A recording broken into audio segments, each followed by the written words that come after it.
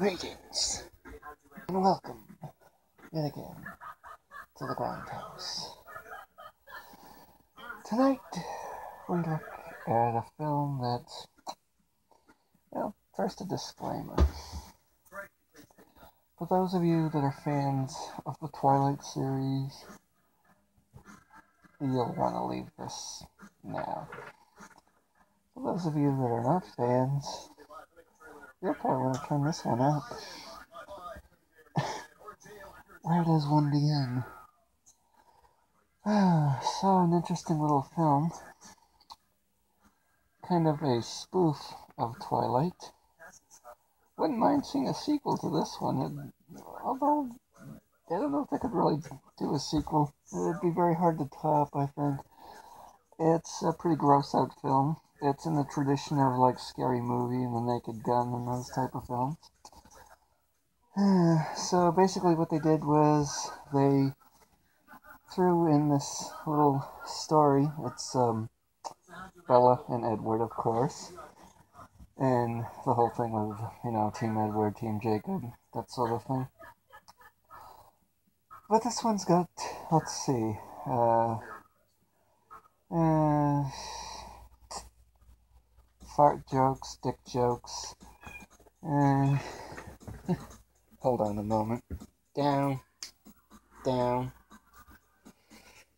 yeah, let's see, fart jokes, dick jokes, and a lot of bathroom humor, a lot of sound effects to that, to that front.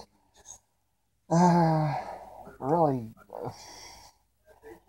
uh, a relationship more or less between Jacob and Edward. If you look at some of the, uh, uh, uh, the the bloopers and the um, outtakes and what have you,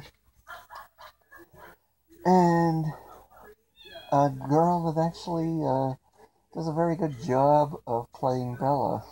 Heather Ann Davis, I think is her name. And uh, yeah, how how does one go about it? Um, she doesn't Steven Seagal it like like supposedly people have probably said about Kristen Stewart. Anyway, uh, me personally, I'm not a fan of the film franchise, but the spoof was pretty good. It's um basically uh, vampires are there's that tribe of vampires that want to kill off Bella, and you got the werewolves and the vampires, and they're feuding. And uh, this film does address one question that I have: What is Danny Trejo doing in this film? I mean, really? That guy did Machete for crying out loud.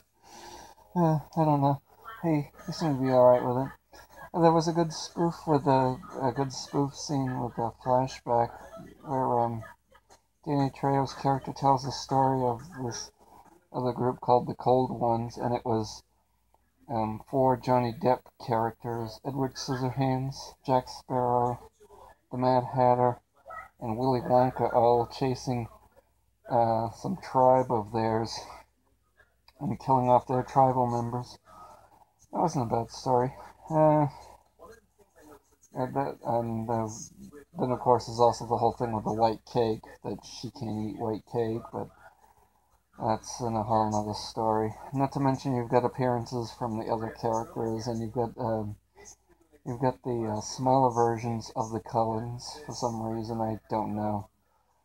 I think they should have done more with those characters too. Truthfully, I don't think they really did that much with them down.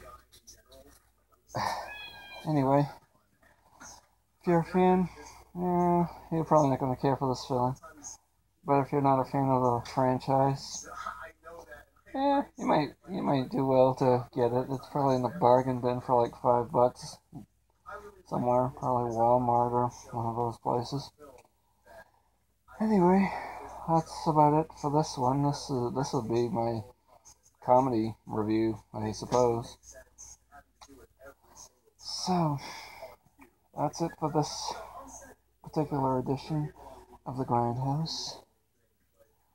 I'll be reviewing another movie probably Friday, Cannonball Friday. Until such time as that,